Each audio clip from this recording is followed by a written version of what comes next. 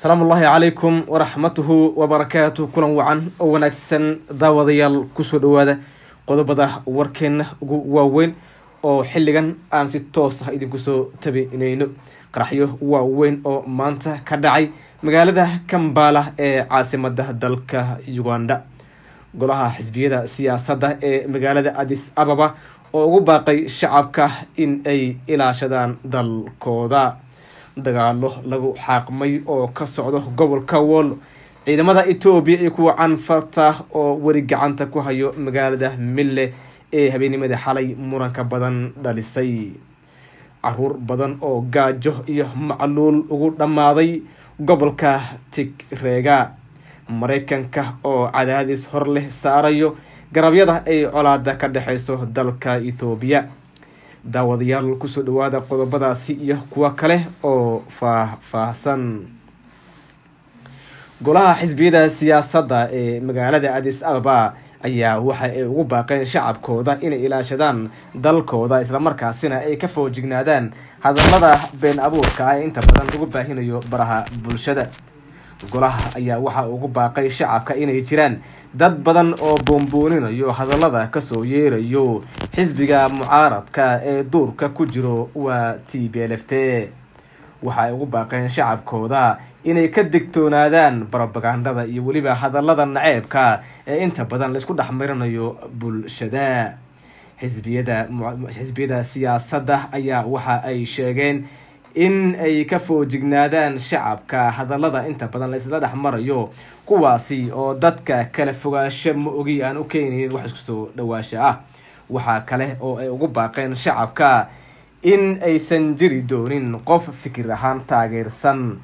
Xisbiyada mucaaradka kaasi oo si xor ah ugu dhex noolaan doono dalka ethoobiya waxa ay oga digeen shacabka inay iska ilaaliyaan fikirka guracan kaasi oo ay aaminsan yihiin t d f ta arrimahani ayaa waxa ay imaanayaan iyada oo maalmihii u dambeeyey dalka ethoobiya dadka kala shaki uu soo dhexgalay islamarkaasina dad badan oo gudaha magaalada adis ababa ku nool lagu tuhmayo inay wada shaqeyn la leeyihiin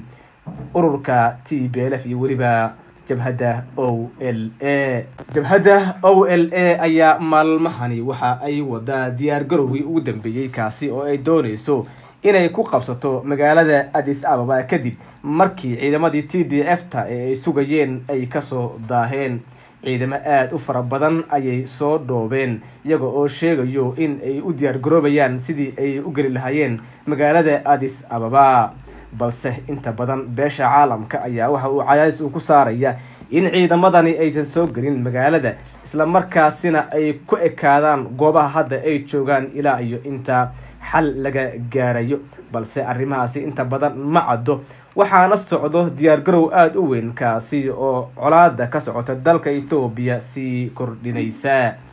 Dagaalo xoogan ayaa waxa ay ka socdaan gobolka wollo kaasi oo ah kadib markii ay soo rogaal celiyeen ciidamada militariga iyo weliba kuwa axmaarada dagaalka ayaa doorkii beri u dambeeyey ka socday aagga bahardaar halkaasi oo ciidamada axmaaradu ay sheegeen in dhulka ka maqan ay dib u soo ceshan doonaan. Doorkii beri u dambeeyey ayaa waxa ay wadeen abaabul ciidan kaasi oo ay ku sheegeen in dhulkooda ay xoreysan doonaan. Axmaarada ayaa waxa ay qaateen baaqi ka soo yeeray ra'iisal wasaare abiy axmed oo ahaa in dib loo soo celiyo dhulka ka maqan islamarkaasina yar iyo weynba ay qoriga ay qaataan waxaa la arkayay ardayda jaamacadaha iyo kuwa iskuullada kuwaasi oo isku diyaarinayo in dagaalka ay galaan islamarkaasina ay sumcadoodii luntay ay soo ceshadaan. Dagaalo xoogan ayaa dhanka kale waxa ay ka soconaysaa aaga mille halkaasi oo barabaganda shalay soo baxday gelikii dambe lagu sheegay in gacan ku-haynteeda ay la wareegeen ciidamada t d f ta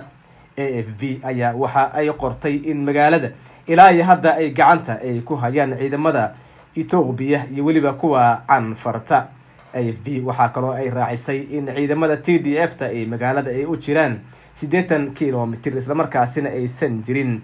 gudaha ay inay u galeen magaalada. Habeennimadii xalay ayaa waxa ay cabsi weyn ay ka jirtay magaalada jigjiga halkaasi oo dadka inta badan ay ka cabsanayeen in haddii nimankan ay ka soo gudbaan magaalada mille ay u sahlanaan doonto in qeybaha kale ee dalka inay gudaha ay u soo galaan waxaa la soo sheegay in ciidamo badan oo liu boolice in loo daadgurayay furimaha hore ee dagaalka kuwaasi oo xuduudaha ilaalinayo maanta waxaa magaalada jigjiga ka furmay shir looga tashanayo amniga kaasi oo lagu ilaalin doono amaba ciidamada liyuga lagu geen doono furimaha hore ee dagaalka si ay u ilaaliyaan xuduudaha ay la wadaagaan gobolka canfarta. Balse ciidanka militariga iyo kuwa canfarta ayaa dhowrkii beriga u dambeeyey ama labadii isbuuci u dambeeyey u babac dhigay. Xooga t d f ta iyaga oo halkaasi ku sameeyey iska caabin aada u weyn balse t d f ta ayaa waxa ay sheeganaysaa inay guulo waaweyn ay ka gaareen inkasta oo guulahaasi ay sheeganayaan aysan ahayn kuwa xaqiiqada ku dhisan. Inta badan wararka ka soo baxayo goobaha ay dagaaladu ay ka socdaan ayaa xaqiiqadooda la isku haleyn karin marka laga reebo in yar oo ka mid ah amaba laga soo xigtay warbaahinta caalamka kuwaasi oo wariyaal ay ugu sugan yihiin furimaha hore ee dagaalka. Caruur aada u badan ayaa waxa ay gaajo iyo macluul ugu dhinteen isbitaalada gobolka tigreega maalmihii la soo dhaafay ayay carruur aada u badan ugu le-deen gaajo iyo iyo macluul taasi oo laga soo sheegayo in isbitaalada aysan lahayn dawo iyo daryeel lagu siiyo carruurta halkaasi ku sugan ee xanuunada shuumbiyoodka uu soo waajahay. Tan iyo sannadkii hore bishii novembar ayuu dagaal halkaasi ka qarxay ilaa iyo haddana ma aysan helin gobolkaasi. Wax gargaar bani-aadinimo ah oo toos u tago gobolkaasi. Kadib markii halkaasi ay isku gacan saareen ciidamada tigreega iyo weliba kuwa dowladda federaalka ee etoobiya mareykanka ayaa waxuu cadaadis horleh uu saarayaa garabyada iyo colaada ay ka dhexeyso kadib markii la soo sheegay in macluul ba'ani ay ka taagan tahay goobaha dagaaladu ay ka socdaan sida gobolka tigreega canfarta iyo weliba axmaarada. Mareykanka ayaa waxa uu ka dalbaday labada dhinac ee diriirtu ay ka dhexeyso inay wadahadal ay miiska wadahadalka ay imaadaan islamarkaasina ay joojiyaan qoriga. Laba qarax oo waaweyn ayaa maanta waxa ay ka dhaceen magaalada kambala ee caasimada dalka uganda. Wadada aadaha baarlamanka uganda ayaa waxaa laga soo sheegayaa inay ka dhaceen qaraxyo waaweyn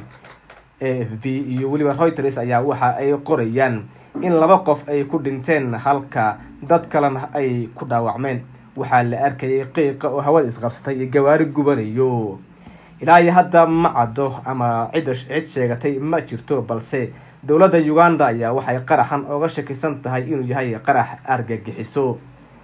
bishan gudaheeda ayay ahayd markii qarax midkan u dhow uu ka dhacay dalka uganda kaasi oo ay sheegteen i s i s in iyaga ay ka dambeeyeen balse ilaa iyo hadda waxaa socdo baaritaan. Inta badanna warbaahinta caalamka ayaa qaraxani aada u tabinaya. Daawadayaal waxaa intaasi inooga dhan war wixii dal iyo dibad inaga soo gaaray oo halkan aad kala socoteen. Intaan warkan midka xoog ku kulmayno haddii ay baydmo nabadgelyo